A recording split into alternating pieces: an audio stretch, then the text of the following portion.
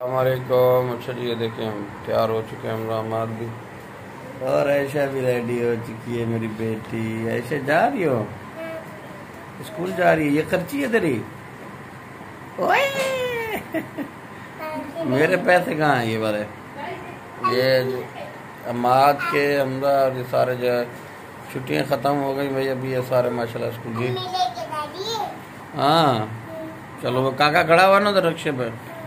हाँ जाओ फिर, जाओ। अस्सलाम वालेकुम अच्छा जी, वापसी आ चुके हैं। जी। हाँ।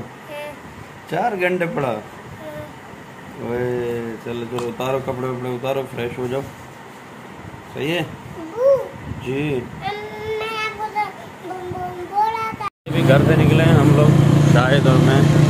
एक तो शाहिद का मोबाइल लेना है और एक लेना है अबू के लिए। अब्बू का मोबाइल गिर गया, आते हुए पंजाब से ना। उनका मोबाइल एक नया लेना अभी चल के देखते हैं कौन कौन सी सेट है। वो कह रहे तुम, वो कर लेना कि मुझे जैक टाइम लग जाएगा, सुन ये कह रहा हूँ। जैक जल्द जितना जल्दी हो जाए बस जैक का कर देना। वो उसको खाली उसके पैसे देने हैं। मैं उसको दे देता हूँ ना, तुम ये वाला बनवा दे यार। के बाद भी रश है थोड़ा सा। मोबाइल मार्केट में, बस ये बाहर खड़े हैं। मैंने प्रोडक्ट डलवाया अपने मोबाइल का। कितने काटेगा अभी?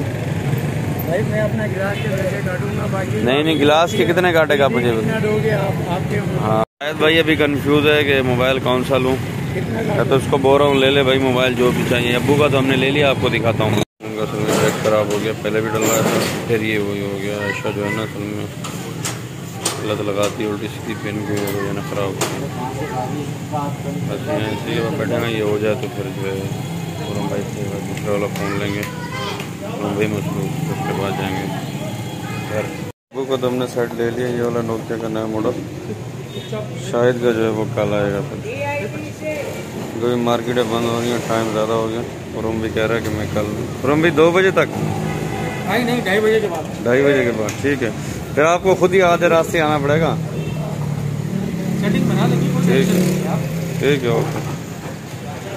जैक भी तकरीबन सब जा रहे हैं बस इंशाल्लाह। चलो निकल ये रहा जी नया फ़ोन मेरे अब्बू का। ये अभी आएँगे तो उनको मैं सेट करके दूँगा। जी बाबा। ये कार ये वाइट है और ये कार और ये भी वाइट है हम्म अब्बू का नया फ़ोन है। कि आज स्कूल नहीं गई तू झूठी है तूने बोला मेरी तबीयत सही नहीं है। चलो ठीक है जी अल्लाह हाफिज़।